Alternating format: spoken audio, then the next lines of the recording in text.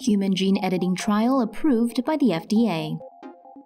The FDA has given the all clear to two pharmaceutical companies to begin a human gene editing trial.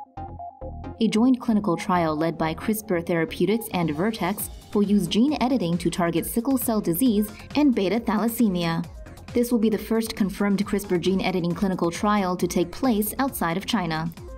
According to a CRISPR Therapeutics news release, the gene editing therapy called CTX001 will be used to modify a patient's stem cells to increase hemoglobin levels in red blood cells.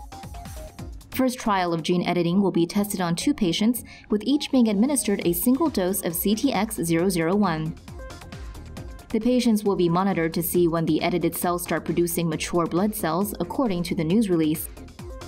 If everything goes well, the two companies will move to conduct clinical trials on a larger group of patients.